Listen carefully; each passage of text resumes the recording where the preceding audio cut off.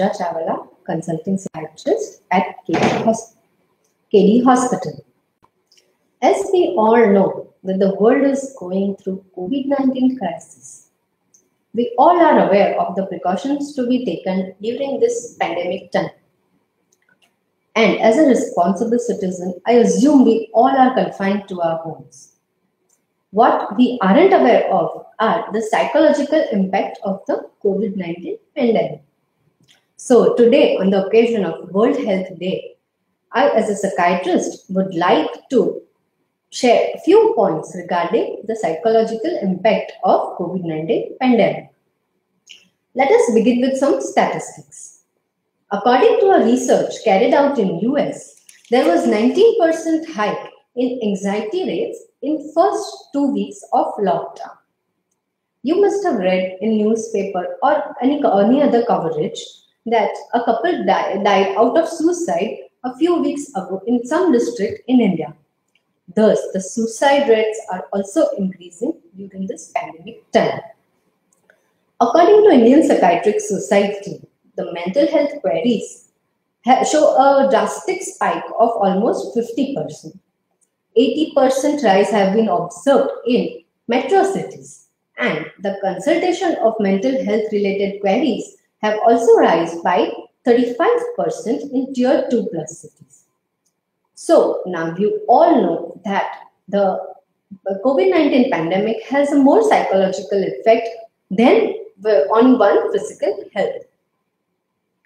Now, let us discuss some of the psychological impact of quarantine or on uh, human health. We will divide it into three categories. General population during lockdown period, an infected person or uh, and a quarantine person, and what happens post lockdown. So, we'll begin with during lockdown. During lockdown, a person might experience anxiety, from isolation, inadequate information, change in sleep and appetite pattern, stress level increases. By anxiety, what I mean is there will be a change in sleep and appetite pattern. Mind will be confused, a perplexed mind state. A person will lose the lose a reasoning power.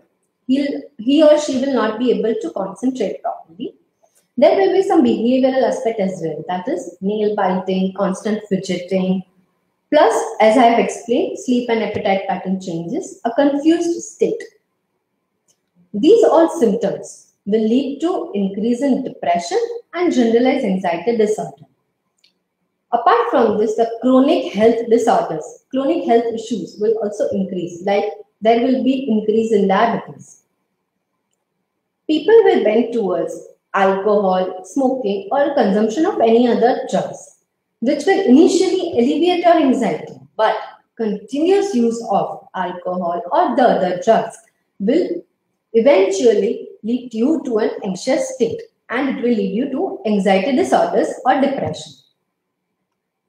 Now, what will happen to a person who is infected?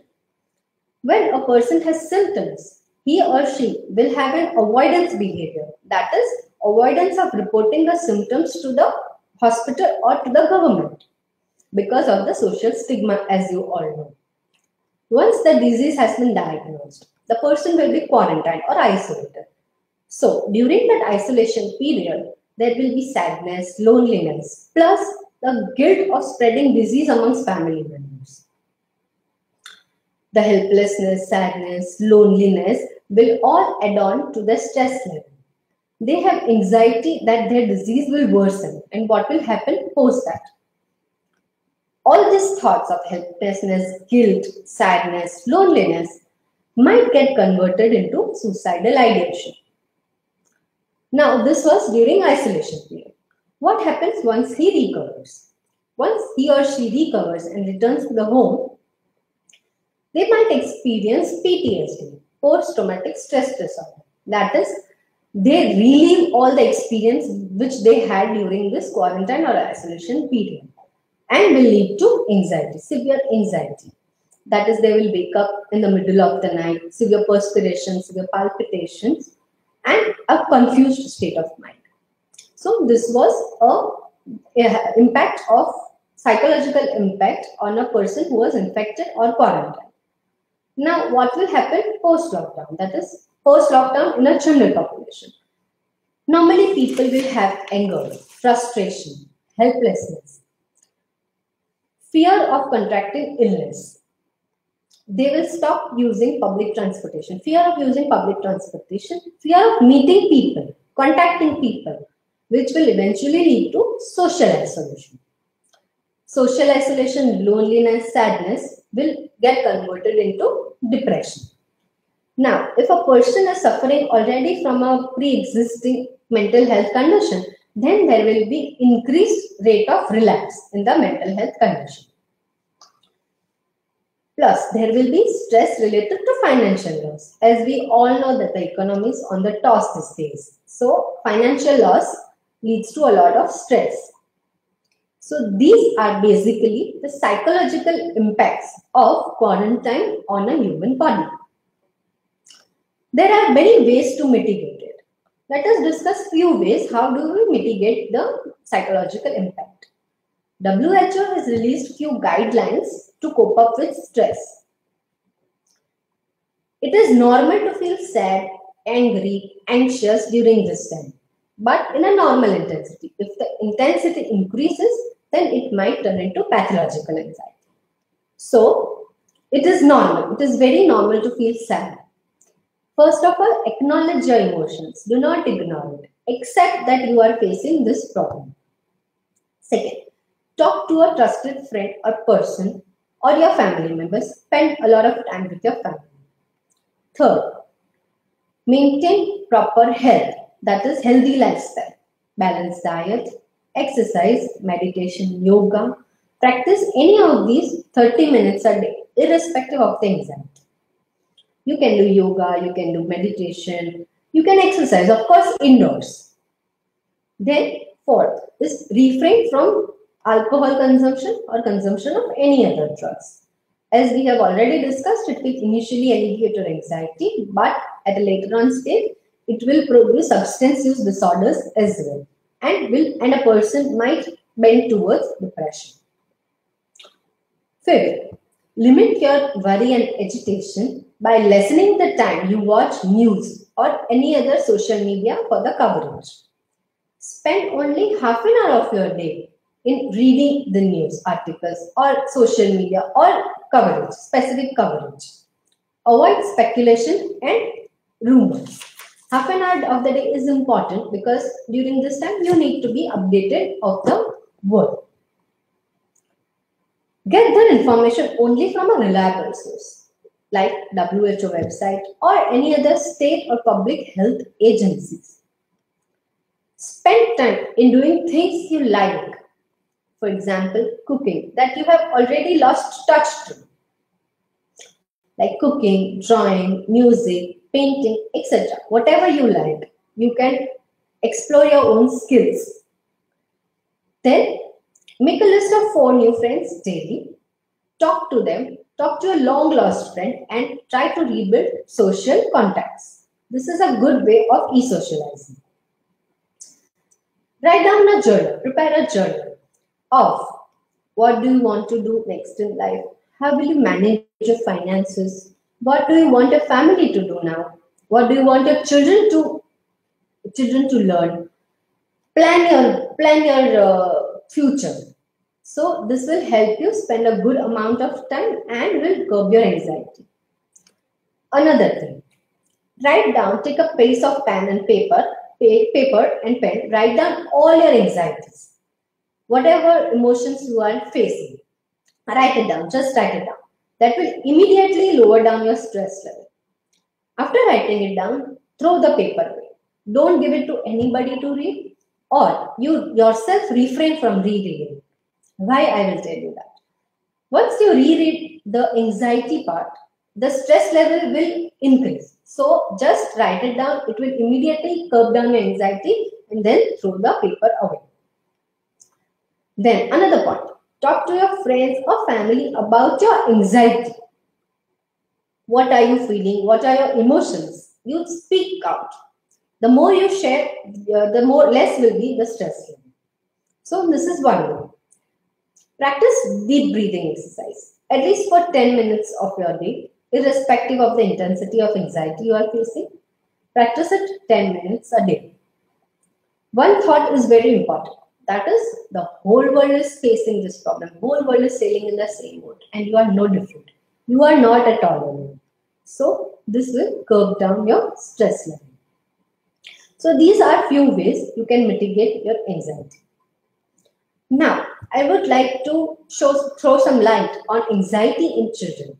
You might think that children will not face anxiety or they don't have stress because they are too young to understand. No, then you are wrong. Children also faces anxiety and the anxiety and stress in an adult will affect children as well. How do a child will respond? A child might become clingy, withdrawn, angry, anxious, and at times you will observe bedwetting in a child. So you need to respond to a child in a very supportive way. Need to give more love and attention to the child. The children needs more love and attention during these difficult times. Keep them close to your close to the family members. Follow a regular routine that is waking up at a specific time, sleeping at a specific time, a regular pattern. Assign few tasks to them to accomplish, like helping mother in household work, then meditating with your child, playing with the child, of course, indoors. So, and keep them busy.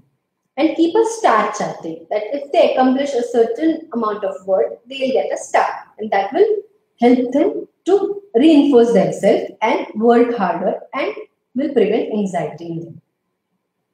So these are the few ways you can protect your child from being anxious and explain him or her about the situation around. Give clear information and ways to protect them from being infected.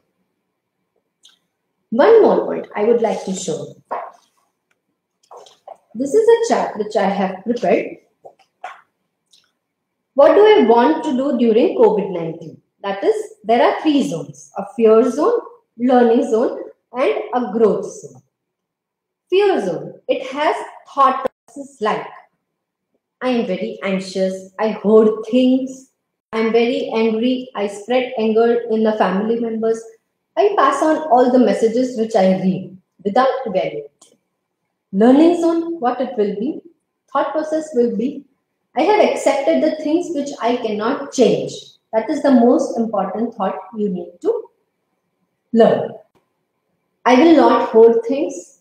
I will pass on the message only after evaluating it. I will first acknowledge my own emotions. So, you will be in a learning zone. Last will be the growth zone. What is growth zone? The thought that I have conquered all my emotions now I will be helpful to others with available resources I have, empathetic towards myself and others, explore my skills, I'll be creative, I'll be in a happy state of mind. So, this thought, you will be in a growth zone. You yourself evaluate now. In which zone are you? And which zone do you want to achieve? Anxiety is experienced by everyone during this time, but in varying intensity. Acknowledge your emotions and seek professional help whenever required. Talk to a doctor, talk to your doctor about the anxieties which you have, your stress which you have. Do not refrain from doing that. Do not ignore your emotions. COVID 19 crisis, pandemic has a lot of psychological impact, and these are few of them. The health workers, I would like to draw your attention towards the health workers they are burned out and they have secondary traumatization because they all are aware of the magnitude of the illness, magnitude of the disease because of the long working hours and everything. So try to help them. Primary prevention and early intervention might help you from developing serious mental health conditions. So during this time, acknowledge your crisis, help others, stay positive, stay safe, stay indoors. Thank you, everyone. That's all for now. Thank you. Bye bye.